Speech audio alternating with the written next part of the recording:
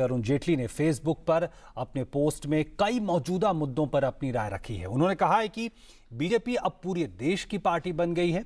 वित्त मंत्री ने कहा है कि कांग्रेस विमुद्रीकरण के विरोध और भ्रष्टाचार का खामियाजा भुगत रही है।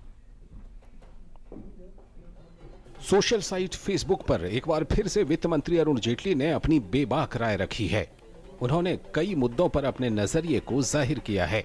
स्थानीय चुनाव के नतीजों पर अपनी प्रतिक्रिया देते हुए वित्त मंत्री ने कहा कि ओडिशा और महाराष्ट्र के स्थानीय चुनाव के नतीजे ने साबित किया है कि भाजपा अपने दम पर बड़े राज्यों में चुनाव जीत सकती है। वित्त मंत्री ने कहा कि इन चुनावों का पहला संदेश यह है कि भाजपा पूरे देश की पार्टी बन गई है और पूर्वी तथा दक्षिणी राज्यों में भी अब अपनी जड़ें जमा रही है।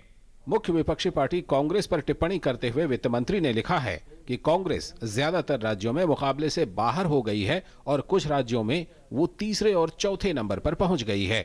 वित्त मंत्री ने कहा कि ये वक्त आ गया है कि कांग्रेस को आत्ममंथन करना चाहिए और हकीकत को स्वीकार करना चाहिए। संसद में कांग्रेस द्वारा लगातार बाधा डालने पर वित्त मंत्री ने कहा कि इस रवैये के कारण कांग्रेस मुख्य धारा की पार्टी के बजाय विध्वंसात्मक पार्टी की तरह नज़र आने लगी है। विमुद्रीकरण पर पार्टियों के रवैये की चर्चा करते हुए वित्त मंत्री ने लिखा है कि कांग्रेस द्वारा इस मुद्दे पर अपनाए गए रुख का इस पार्टी को ज़बरदस्त खामियाजा भुगतना पड़ रहा है। दूसरी तरफ़ विमुद्रीकरण का देश के आम लोगों और गरीबों ने ज़बरदस्त समर्थन किया है। वित्त मंत्री ने आगे लिखा है कि कांग्रेस ने अपने परंपरागत गरीब मतदाताओं का जनाधार भाजपा के हाथ में खो दिया है।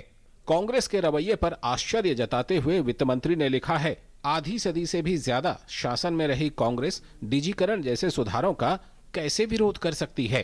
कांग्रेस के वर्तमान नेतृत्व को अक्षम बताते हुए वित्त मंत्री ने कहा है कि अब ये पार्टी सिर्फ़ एक परिवार के इर्द गिर्द ही सिमट कर रह गई है। News night desk D news.